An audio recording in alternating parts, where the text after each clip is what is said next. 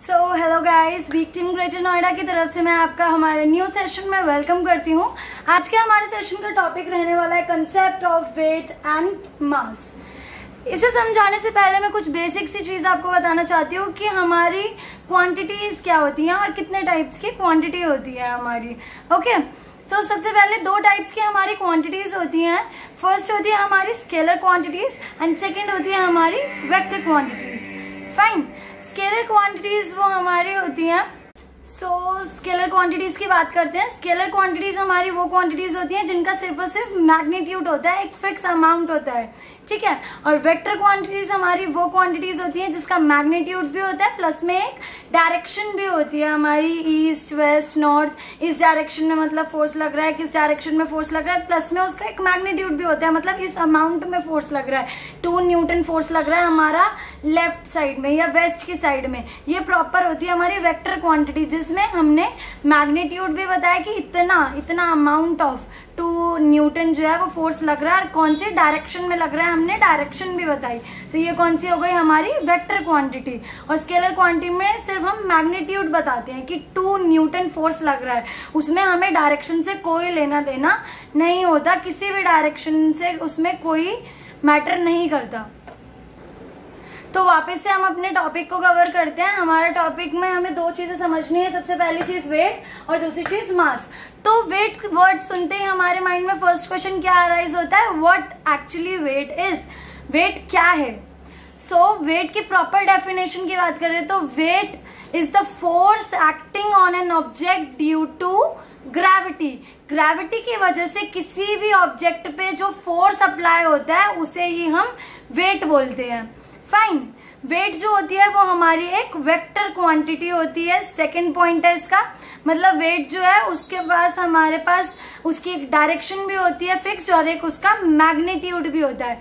अभी हमने बोला कि वेट जो है वो एक फोर्स है। हम सबको पता है फोर्स की यूनिट क्या होती है? ऐसा यूनिट क्या होती है? Newton very good so newton उसकी यूनिट होती है तो वही यूनिट ये भी हमारा एक फोर्स ही है तो वेट की यूनिट क्या हो गई? हमारी न्यूटन। फाइन अब बात करते हैं हम हमारे मास की। सो वॉट इज़ मास अगर प्रॉपर डेफिनेशन की बात करें तो मास इज़ द क्या होता है? M mass is equals to velocity V into में डेंसिटी स्मॉल डी मतलब mass is equals to velocity into में डेंसिटी ये हो जाएगा हमारा मास का मेन फॉर्मूला फिर बात करते हैं हम हमारे वेट के फॉर्मूला की। तो वेट का फॉर्मूला क्या होता है? हमारा M small M that is mass into में G here G is acceleration due to gravity gravity की वजह से जो एक्सेलरेशन लग रही है बॉडी पे, वो। इस जी की हमारी फिक्स वैल्यू वैल्यू होती है, ये कांस्टेंट होता है हमारा स्मॉल जी इसकी वैल्यू क्या होती है? हमारी 9.8 मीटर पर सेकेंड्स फाइन ये आगे हमारे हेल्पफुल होता है हमारे न्यूमेरिकल्स वगैरह सॉल्व करने में। फाइन ये हमें याद रखनी है वैल्यू लास्ट पॉइंट ये बात हम पहले भी कर चुके थे कि मास जो होता है किसी भी बॉडी का it can neither be zero mass जो होता है किसी बॉडी का, वो ज़ीरो नहीं हो सकता। While on the other hand जो हमारा वेट होता है बॉडी का, वो ज़ीरो हो सकता है। किस केस में? जब हमारा जो ग्रेविटी होती है मतलब स्पेस की अगर हम बात करें तो वहाँ पे ग्रेविटी अगर ज़ीरो हो जाए तो हमारा M into G formula होता है। अगर जी हमारा ज़ीरो आ जाता है स्पेस में तो हमारा मास जो भी है बॉडी का इंटू में ज़ीरो करके हमारा बॉडी का वेट जो है वो भी ज़ीरो हो सकता है। फाइन सो so, इस कंसेप्ट को हम एक बेटर एग्ज़ाम्पल के साथ समझते हैं। कंपेयर करके कि वेट जो है वो हमारा मून पे मार्स पे कैसे रहता है? सो लेट अस सपोज़ कि हमारे एक आदमी है, एक मैन है, उसका वेट है हमारा 60 केजी मास है सॉरी उसका हमारा 60 केजीज ठीक है? एक्सेलरेशन ड्यू टू ग्रेविटी जो होता है हमारा स्मॉल ए वो अर्थ पे होता है हमारा स्मॉल ई अर्थ को डिनोट कर लेते हैं ए ई वो अर्थ पे रहता है हमारा 9.8 मीटर्स पर सेकंड फाइन वही हमारा होता है, अगर हम बात करें in case of 1.6 A M for moon small M for moon है। ए एम जो हो जाएगा वो हमारा होता है 1.6 मीटर्स पर सेकेंड तीसरी बात करते हैं हम मार्स की। तो एक कैपिटल एम से मार्स को डिनोट कर लेते हैं। वहाँ पे हमारा हो जाता है जी की वैल्यू नाइन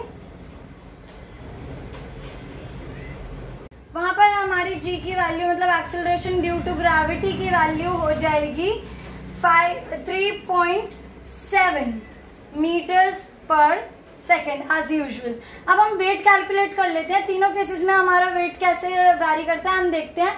हमारा मास जो है, वो तो हमने बताया कि कांस्टेंट क्वांटिटी होती है तो मास जो है, वो हमारा हर केस में 60 रहेगा। सबसे पहले हम अर्थ की बात करते हैं। तो अर्थ की अगर हम बात करते हैं तो हमारा फ़र्स्ट केस में फॉर्मूला के हिसाब से वेट के क्या हो जाएगा?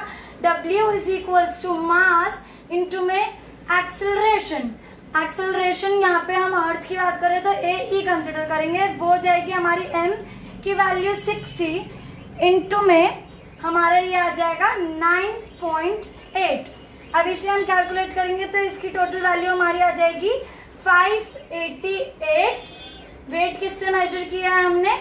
फोर्स है ना वेट? तो उसकी आ जाएगी न्यूटन यूनिट्स ठीक है? अब हम सेकंड केस कंसिडर करते हैं हमारा. सेकंड केस किसका था हमारा? ये फ़र्स्ट केस था हमारा अर्थ का.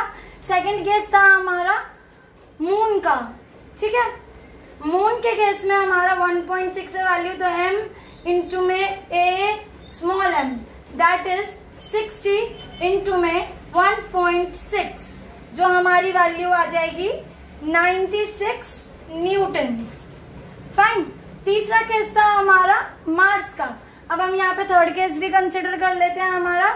थर्ड केस हो गया हमारा मार्स का, जिसमें हमारा फॉर्मूला यही रहने वाला है डब्ल्यू एम इंटू में ए कैपिटल एम ले लेते हैं मार्स के लिए। यहाँ पे जो हमने लिया था। फाइन तो यहाँ पे 3.7 डाल देंगे वैल्यू वेट हमारा मास हमारा वही रहेगा 60 इंटू में 3.7 अब ये हमारा क्या हो गया? कैलकुलेट करके टू टू टू न्यूटन अब इधर हमने इन तीनों चीज़ों से क्या देखने को मिला हमें? कि हमारा तीनों केसेस में जो है फ़र्स्ट केस में हमने जब अर्थ को कंसिडर किया तो 588 था। सेकंड केस में हमारा चेंज था थर्ड केस में भी चेंज था। मतलब हमारी ग्रेविटी जो एक्सेलरेशन ड्यू टू ग्रेविटी वो चेंज करती जा रही है। तो हमारा जो वेट है बॉडी का वो भी चेंज होता जा रहा है। अब हम कंसिडर करते हैं नेक्स्ट एक एग्ज़ाम्पल लेके हमारे मास का। कि मास जो है वो हमारा कैसे हर जगह पे कांस्टेंट रहता है। सो so, कंटिन्यू करते हैं। हम बात कर रहे थे अब मास की नेक्स्ट चीज़। तो मास निकालने के लिए किसी भी बॉडी का हमारी एक अलग से इक्वेशन होती है। मतलब बेसिक इक्वेशन है वो भी। जिसमें होती है हमारी capital F F is equals to में जी एम वन इंटू में एम टू अपॉन में आर स्क्वायर यहाँ पे हमारा एफ़ डिनोट करता है फोर्स को। फिर आती है हमारी जी की वैल्यू यहाँ पे कैपिटल जी होता है, हमारा gravitational constant M one is mass one M two is mass one here R denotes the radius of the earth और radius of the planet basically तो हम फ़र्स्ट चीज़ अर्थ की बात कर रहे हैं, यहाँ पे तो यहाँ पे अर्थ का रेडियस ही कंसिडर करेंगे। अब इसे हम सॉल्व करते हैं आगे। लेटस सपोज़ कि ये हमारी इक्वेशन वन है।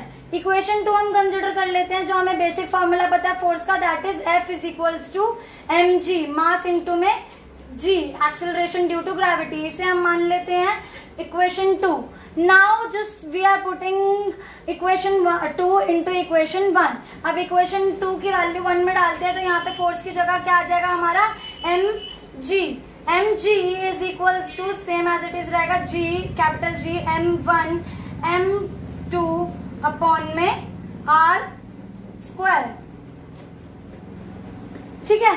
अब यहाँ से हमने देखा एम है और एम है, यहाँ से हमारा एक एम से ये एक एम कैंसिल अब हमारे क्या बचा? यहाँ पे स्मॉल जी की वैल्यू आ जाती है हमारी. Small g is equals to G M two upon में आर स्क्वायर अब हमें यहाँ से देखना है कि हमें तो कैलकुलेट करना था मास ठीक है? तो हम इसे अब थोड़ा सा चेंज कर देते हैं। मास निकालने के लिए हमारा जो है मास इधर आ जाएगा और ये ट्रांसफॉर्म होके तो यहाँ से हमारा मास टू एम टू का फॉर्मूला क्या हो जाएगा? हमारा स्मॉल जी इंटू में आर स्क्वायर अपॉन में कैपिटल जी इससे हम सिंपली अपना मास जो है सेकेंड बॉडी का कैलकुलेट कर लेंगे। ये हमने फॉर्मूला के अकॉर्डिंग सबकी वैल्यूज़ पुट की है। ये हमारी जी की वैल्यू ये हमारा रेडियस ऑफ़ अर्थ और ये हमारी ग्रेविटेशनल कांस्टेंट कैपिटल जी की वैल्यू अब हम इसे सॉल्व करेंगे तो यहाँ से अगर हम एक पॉइंट उठाते हैं, नीचे टेन आ जाएगा इंटू में, ठीक है? यहाँ से अगर हम पॉइंट उठाते हैं तो यहाँ पे इंटू में हंड्रेड आ जाएगा। एक ज़ीरो से एक ज़ीरो कैंसिल ये हमारा टोटल क्लियर पूरा सॉल्व करने के बाद वैल्यू क्या आएगी? Five point nine eight into में ten raise to the power twenty four के ये आ जाएगी हमारी, ये हमारा मास ठीक है? सिमिलरली हम कंसिडर करते हैं अब next mass of the moon so इसके बाद बात हो रही थी हमारी मास ऑफ़ मून की. मास ऑफ़ मून के अंदर हमें पता है रेडियस ऑफ़ मून जो है वो है हमारा capital R 1.74 point seven four into में टेन बार सिक्स मीटर्स फिर आती है हमारी acceleration due to gravity on moon moon के ऊपर कितनी होती है? 1.6 मीटर्स पर सेकेंड अब मास कैसे निकालना? वही हमारा सेम फॉर्मूला था स्मॉल जी वाला, जिससे अभी हमने मास कैलकुलेट किया था अर्थ का। उसके अंदर हम ये सारी वैल्यूज़ पुट करेंगे तो हमारा मास ऑफ़ मून जो है, वहाँ से कैलकुलेट होकर वैल्यू आ जाएगी। 7.58 पॉइंट फाइव एट इंटू में टेन रेस्ट दार ट्वेंटी टू के जीज़ तो इसके बाद हमें बात करनी थी मास ऑफ़ मार्स की। हमें पता है रेडियस क्या होता है मार्स का? 3.3 पॉइंट थ्री इंटू में ten par three meters acceleration due to gravity on Mars क्या होती है हमारी? 3.7 मीटर्स पर सेकेंड फिर आती है हमारी ग्रेविटेशनल कांस्टेंट की वैल्यू जो हमारी हर केस में कांस्टेंट रहेगी। 6.67 point six seven into ten power minus eleven जैसे हमने पहले वाले केस में निकाली थी मास की वैल्यू उसी फॉर्मूला में स्मॉल जी वाले फॉर्मूलाज में हम सारी वैल्यूज़ पुट कर देंगे। तो हमारा मास आ जाएगा मार्स का 6.39 पॉइंट थ्री नाइन इंटू में ten raised to twenty three kgs approximately approx value है ये। ठीक है this is for all today guys so till then bye take care and victim greater Noida की तरफ़ से, नमस्ते।